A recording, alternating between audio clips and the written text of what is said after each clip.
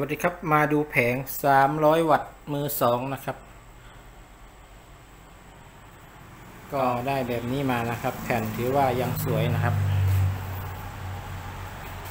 มาดูใกล้ๆนะครับซีลยังสวยอยู่ แต่ว่าบัดบานะครับ ขึ้นดำๆนะครับ ตามอายุการใช้งานของแผงนะครับ ก็แผงนี้อายุประมาณ 6 ปีนะครับ 300 วัตต์ที่กำลังขายกันอยู่ในท้องตลาดนะครับตอนนี้ผมทำการผ่าตัดแล้วนะครับ ก็เดี๋ยวไปดูด้านหลังกันนะครับ ก็มาดูด้านหลังนะครับ แผงมือสองแผงขนาด แผงขนาด 300 วัตต์นะครับ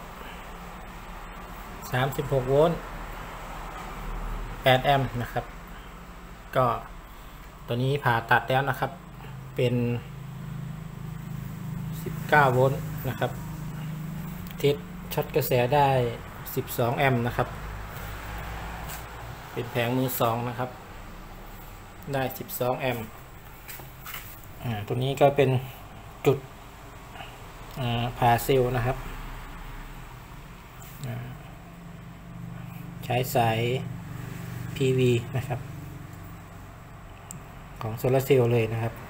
ก็ร้อยสายบวกสายลบนะครับ ด้านข้างมาจัมตรงนี้นะครับเพจด้านหลังนะครับ ก็เจาะแค่นี้นะครับ เพื่อตัดไดโอดบายพาสออกเป็น 2 ชุดนะครับ ก็จัมแบบนี้นะครับ ก็เตรียมส่งลูกค้านะครับ ใช้กับระบบ 12 โวลต์ชาร์จแบตได้ 120 แอมป์ถึง150 แอมป์นะครับ ก็มีประมาณนี้นะครับสำหรับคลิปนี้ แผง 300 วัตต์มือ2นะครับ สวย ๆ เลยนะครับ